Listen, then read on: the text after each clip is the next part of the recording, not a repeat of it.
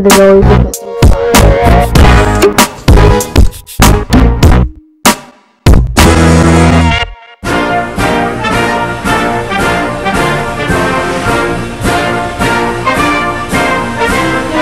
This is Montalvo back again, aka Tada56, and today I'm going to talk to you guys about iOS and Android. So this is basically going to be based on my own opinion. So I have both Android, Android and Apple device, so I can judge which one's better.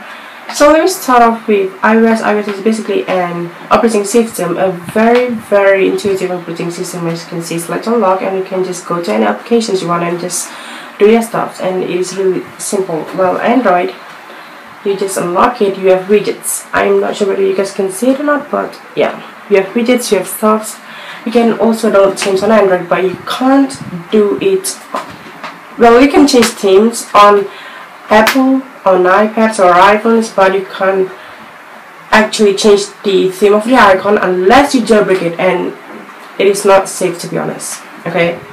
Okay right now i'm just gonna tell you guys which one is better. So it is a balance. Okay I'm I'm not biased. I love both Apple and Android but I prefer I'm more to the Apple side. But doesn't mean I hate Android. I just love both. Okay both are equal to be honest but this just has more features but this is more smoother and more faster and more fluid. Okay.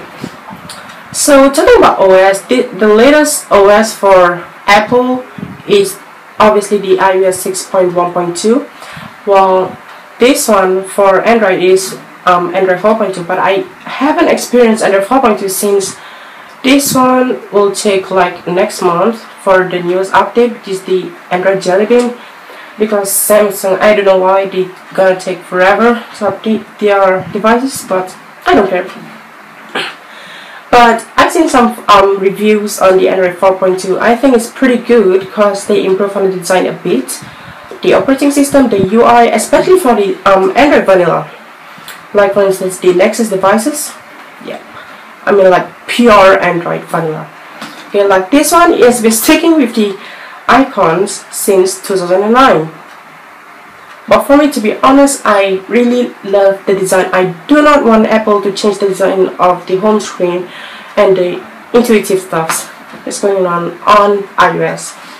Okay, now for the downsides like for the cons okay on both Android and Apple now uh, let's start off with Apple um Apple I mean iOS I do not like is because I am a, I'm a big fan of widgets so it doesn't have widgets and also Adobe Flash Adobe Flash sorry.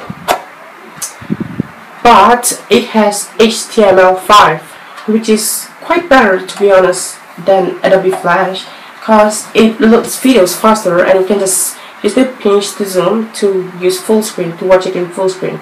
It's not an open source okay? It is a very safe source is not it won't it will never get viruses. Apple devices will never get viruses. That's a plus. But for this one what i do not like is um, it crashed a lot okay? And it kept restarting for no reason and i do not have an idea why. But I still love this thing anyway. Like for instance, like applications when I was like playing games and it just crashed obnoxiously. And sometimes I just put it in my pocket, it kept turning on itself, and sometimes it even unlocks itself, which is really, really irritating. But I solved the problem. Each time I want to put it in my pocket, I just turn on my phone before I put it in my pocket. So, this is just the minor um, comparison between Apple and Android. So like I said, a multi-Apple site doesn't mean I hate Android, but both are equal. In terms of um, features, they are equal basically, but in terms of awesomeness, I think they are pretty much equal. Like this one, even though this is this doesn't have the quad-core processor, doesn't have the 1.5 gigahertz dual core processor. This one has only like 1 GHz dual core processor. Well, this one has 1.2 GHz dual core processor, but this one is faster. But this one has more features. But this one is smaller. But this one, you can have many stops in it. Okay, you can actually customize it and do whatever you want. So, for me, these things are both equal. But let me tell you guys something. If you think of buying an Android product, but then you think Apple is pretty cool, gonna buy an Apple product. But let me tell you what, buy both. Buy both Apple and Android because it is really worth it. Like for instance, if you do not have the feature you want on Apple, you can just always go to Android. And if you don't have the feature that you want on Android, you can always go back to Apple. So that's the deal. Right now, for now, I only have two Apple devices.